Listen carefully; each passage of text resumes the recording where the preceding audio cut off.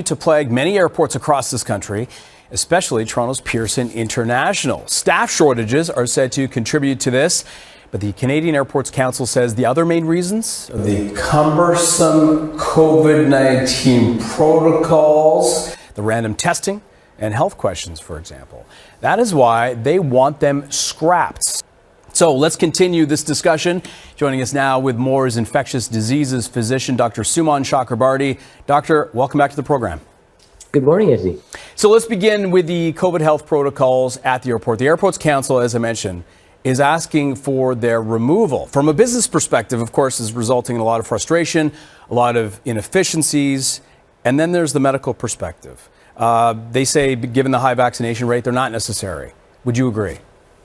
Uh, I would totally agree with that. Look, we're in a different phase of the pandemic where we have to remember in Canada, we have greater than 90% of people on the ground who are vaccinated. And let's not forget that uh, the people who are unvaccinated are largely at this point immune, having been exposed to the virus.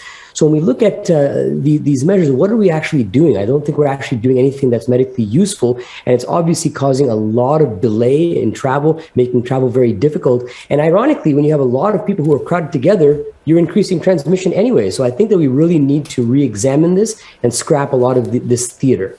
So let's talk about the uh, vaccine, the travel vaccine mandate. And this, in many ways, is contributing to this with the ArriveCAN app and uh, the questions that come with it.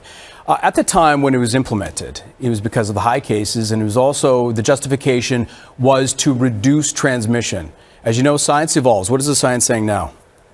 Yeah, this is another thing that uh, I think uh, is important to change as well. Is that the vaccine is amazing at stopping severe disease. That's one thing that we know. But unfortunately, we're seeing that it doesn't do very good at reducing transmission, especially on a population scale. So when you when you can't actually reduce transmission, you're basically now just keeping people who are unable to get or who don't want to get vaccinated or unable to get vaccinated off a plane for no good medical reason reason. And I think that's discriminatory. So I think at this point, especially in the new phase of the pandemic, the vast, vast majority of us are protected. I think it's time to now uh, drop that uh, mandate and allow people who haven't gotten the vaccine to now board planes and trains to be able to go see their loved ones. At the time as well, it's been described to me that this was to accelerate, if not encourage, uh, vaccine uptake. Did it have that effect?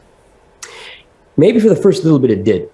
I think it, there's no question that uh, mandates do do something initially up front, but in the long term, did it really did it really get to the populations that at this point uh, we're not wanting to get the vaccine? I don't think so. And I think that we have to remember that from previous vaccine campaigns, uh, the max that we ever got was something like 40% when you look at things like influenza. So to get you know 90, 91% of people on the ground, and if you look at high risk populations in Canada, it's something more like 97 to 98%. We did a wonderful job of getting people vaccinated, but let's not forget that people who haven't been vaccinated also have a significant amount of immunity due to uh, exposure. So we're in a very, very good place. I don't think we need to coerce people to get vaccinated. I think now it's time for us to move forward and realize that as a population, we're very, very well protected against SARS-CoV-2. I have literally just a few seconds, but uh, some would say that this is perhaps an irresponsible time. Are you confident that if this were to be lifted, that there wouldn't be a high uptick in numbers?